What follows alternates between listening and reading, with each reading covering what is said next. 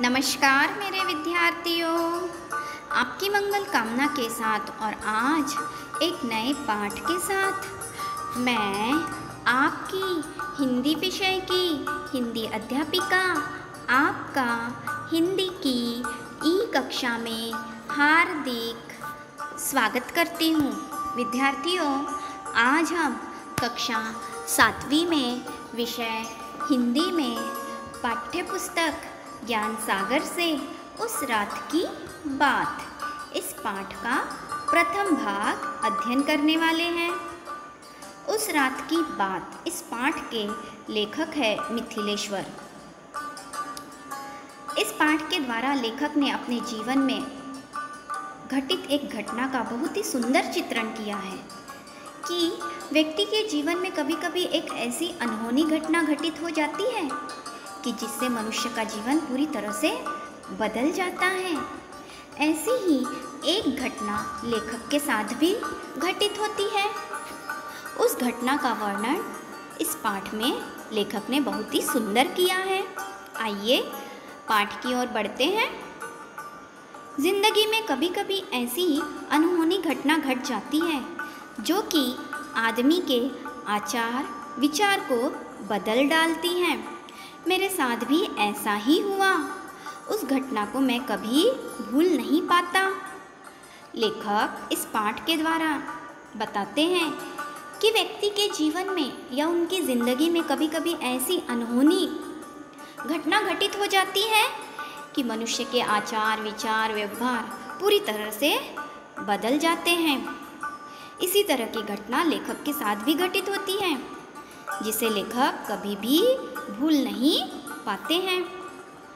लेखक उस घटना का वर्णन करते हुए आगे बढ़ते हैं और कहते हैं, एक दिन मैं अपने परिवार के साथ आराम कर रहा था। एक दिन की बात है कि मैं अपने पूरे परिवार के साथ घर पर विश्राम कर रहा था।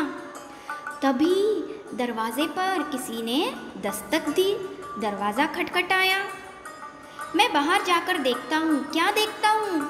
कि दरवाजे के दहलीज पर। मैले कुचैले कपड़ों में एक बुढ़िया खड़ी थी। उसके कपड़ों में पैबंद भी लगे थे, जो कि हमें चित्र में दिख रहा है। जो कि चेहरे से भिकारीन लग रही थी। लेखक मन में सोचते हैं उसे देखकर कि यह भिकारी है। लाल रंग का कागज़ का टुकड़ा मेरी ओर बढ़ाती हुई बिलक कर रो उठी। मेरा बेटा बहुत बीमार है। लेखक बताते हैं, उसके हाथ में एक लाल रंग का कागज़ का टुकड़ा था जो कि मेरी ओर बढ़ाती है और रोकर बिलक कर कहती है कि मेरा बेटा बहुत बीमार है। डॉक्टर ने बहुत महँगी दवा लिखी है। बताती है, डॉक्टर ने बहुत कीमती दवा लिख कर दी है। मेरे पास पैसे भी नहीं हैं। मेरी कुछ मदद या सहायता कर दीजिए। भगवान आपका भला करेगा। बिल्कुल भिकारी की तरह बात कर रही है लड़की बुढ़िया। कि साहब, मुझे कुछ पैसे दे दीजिए, मेरी मदद कर दीजिए। भगवान आपका भला करेगा, भगवान आपको आशीर्वाद देगा। लेखक समझ गए। लेखक कहते हैं कि मैं समझ गया। भीख मांगने का नया बहाना है, नया तरीका है। अक्सर लोग ऐसा ही करते हैं। कभी धर्म के नाम पर पैसा मांगते हैं तो कभी अकाल के नाम पर पैसा मांगते हैं तो कभी बाढ़ के नाम पर और कभी बीमारी के नाम पर।